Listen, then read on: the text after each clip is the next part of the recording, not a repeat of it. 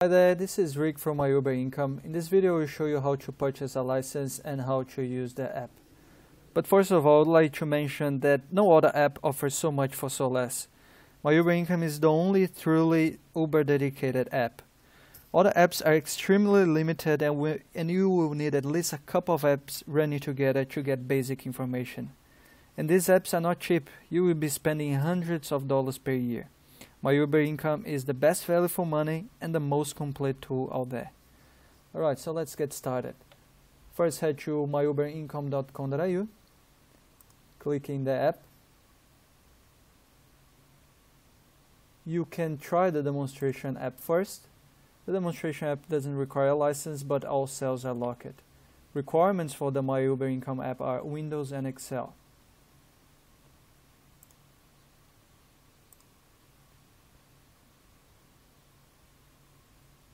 So this is the demonstration app. The only cells that are not locked are the methods.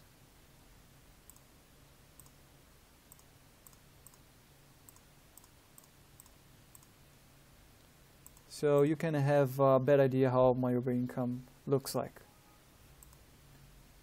So if you like it, you can purchase a license securely via PayPal uh, for only $10. Um, the activation code will be sent instantly via email after the purchase. So add one unit and check out with PayPal. You receive by mail your activation code. Activation code is just over here.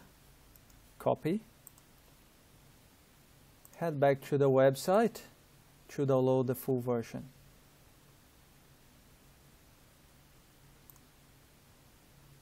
This app version is the 3.0 for the 2018-2019 financial year and was released in July 2018. So I will run the app for the first time. I will insert my activation code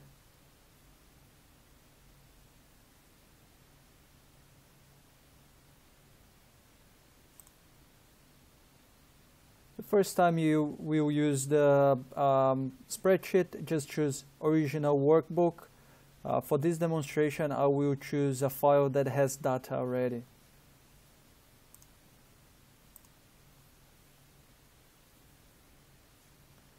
Alright, so that's the app. The first tab is called User Guide. Uh, we have a few buttons at the top. Explanations about these, uh, these buttons are in the app section. So you have an explanation about the app, how the app works. At the bottom you will see explanations about the logbook tab, income, expenses, and summary tabs. Uh, you also have uh, how uh, the updates work, uh, support, about disclaimers, information links, and tax rates. The next tab is the logbook tab. There are three methods to record your logbook, uh, full, partial, or predefined definitely uh, full is the uh, most complicated one as you'll be recording your mileage through the whole year but uh, at the same time give you more information. Um, the next method is the partial which you will just record for the minimum 12 weeks as per uh, ATO requirement. Or if you already have a logbook you already know your business usage you can just type it over here so in this example, we'll uh, choose full. And at the top, that's the summary for the year. And just over here are the on-trip mileage field. So this will give you actually uh, what is your dead mileage, which you can find in the summary tab. I will show you later. The next tab is the income tab. There are two methods to record your income, weekly or monthly.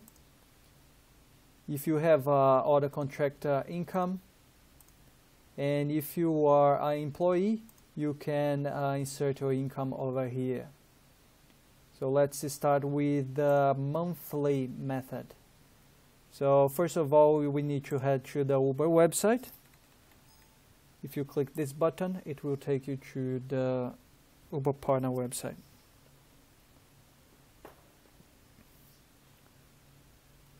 So select tax summary, choose the year and the month. and go back to the spreadsheet. So the first field is the gross fares, which for me was 65.02. Next field for me is the city fee at 7.67. And booking fee at 2.75. That equals to 75.44. And next uh, fields for me are the Uber service fee, which is 14.30. Order charges at 2.75 and third parties 7.67. That's how you fill your monthly uh, in the monthly method. So the weekly method, back to the website, but this time we will select payment statements.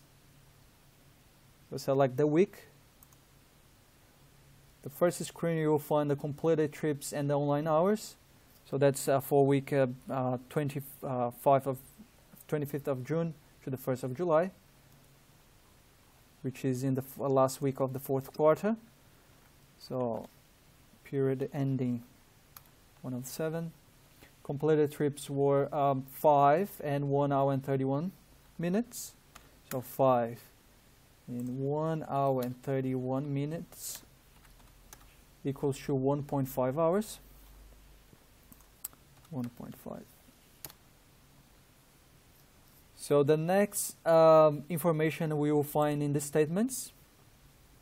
Select the week and view statement. So most of the information is on the right side, but if you're in the softwares, we will find the levy just over here. So let's uh, start with the fare 63.57. Next field for me is the wait time 1.45. Next field is uh, Uber fee. It's minus 14.30.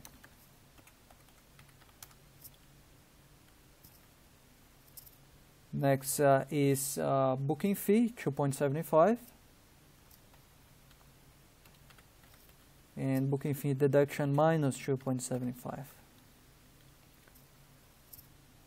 CTP charge 2.17.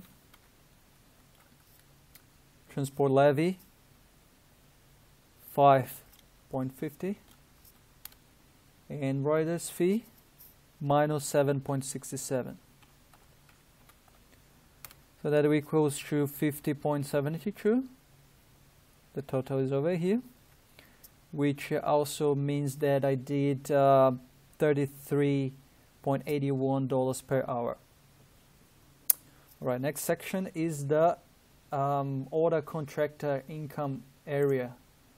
So if you don't have, you can just uh, hide it, but if you have, you can just uh, select yes. So these two fields over here, the type and the GST, you GST select from a drop box. If it's an income, expense of income and expense. If it's just in inclusive or exclusive, uh, and here you type what is the description of the values. At the top here you will see the summary. More explanation about this you can find in the user guide. Next tab is the expenses tab. It's pretty straightforward. There's a summary at the top uh, click here to know uh, to learn more about uh, Uber deductions which kind of uh, deductions you can you can make so the first columns are related to fuel so you GST insert the date, value, and GST. Uh, next ones are all the expenses related to your car. So date, description of the expense, value, if it's just included, yes or no. Next columns are the business only. So this will be 100% allocated as a business expenses expense.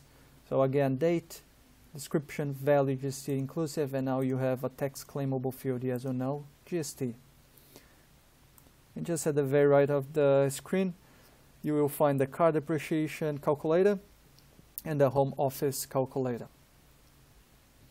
And the final tab is the summary tab. So uh, at the top we will find the dashboard, the Uber dashboard, which will remind you when your, your next BAS uh, due date is. I would like to highlight a few uh, fields over here instead of going through all of them, which is uh, um, your net income per hour and uh, uh, how much you need to allocate aside from your payout to pay all your expenses and GST and taxes. So this is the net income and how much um, pay, um, uh, how much tax you will pay in the end of the financial year. Here a couple of charts about the Uber payout. So 54% uh, of my Uber payout, so what I received in my bank account, was actually net income, and 14% I used for expenses. Um, the next chart is expenses tab. So 59% uh, of my expenses were uh, in the end of the financial year uh, was the tax return.